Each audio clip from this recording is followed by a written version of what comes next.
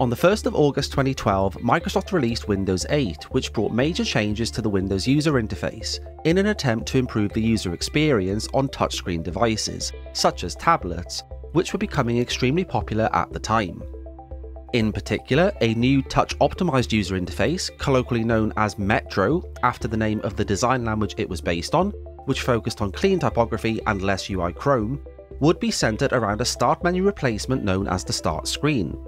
The start screen was a full screen UI where users could pin app shortcuts, in addition to viewing dynamically updated content from within apps, such as headlines from the news app, on a large grid of so called live tiles, a feature that had debuted in Microsoft's then mobile operating system, Windows Phone 7. The concept of a start screen in Windows arguably dates all the way back to the late 1990s, when, during the development of Windows Millennium Edition or Windows ME, Microsoft tested out a full screen UI known as the Start page. It was designed to overlay the traditional desktop and to provide quick and easy access to the user's most used apps and folders, such as the web browser, email client, and documents folder. Users also have the ability to personalize the start page, such as by adding or removing app links and applying themes. Though the feature would be pulled from Windows ME before the final release, it was simultaneously being tested in another Windows version Microsoft was working on at the time known as Windows codename Neptune. Neptune was ultimately cancelled and the team that worked on it moved on to a new project, Windows codename Whistler, which would be released as Windows XP in 2001. During the development of XP, the start page was tested again, but ultimately did not make the final release. Fast forward a decade then, and Microsoft was busy working on Windows 8's new start screen. Although it has many parallels with the start page, it appears there was no conscious inspiration taken from the start page when the start screen was under development.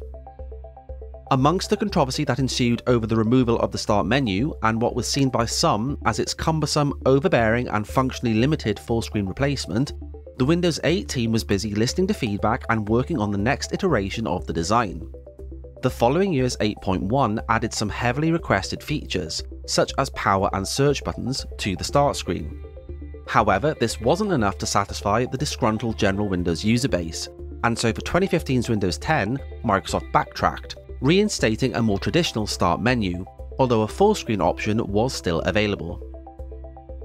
Incidentally, it's worth mentioning at this point that there is an argument that if allowed more time, the start screen and Metro interface in general could have been improved past what Microsoft's president of the Windows division at the time, Steven Sinofsky, would later call a version 1 product, Unfortunately, in this universe at least, we will never know what Metro could have evolved into if given enough time to reach its full potential, although we do know that Microsoft was at least working on bringing interactivity to the live tiles, allowing users to, for example, control music through the Music Apps tile.